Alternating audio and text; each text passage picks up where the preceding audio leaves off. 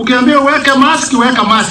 Sanitizer weka tu mpaka chakula ive, ugaie. Si chakula tunangoja chakula yako, na ile chakula tunangoja yako ni chakula ya amani ya kuweka sisi pamoja.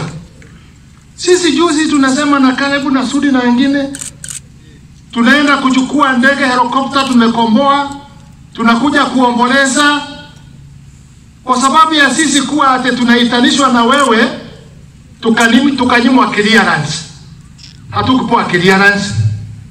Lakini tukasema Mungu hakuumba ndege peke yake.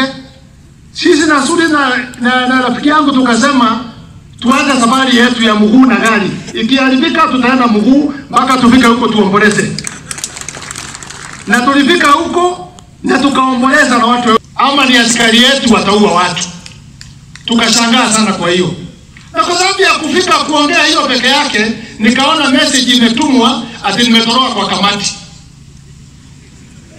nimetoroka kwa kamati.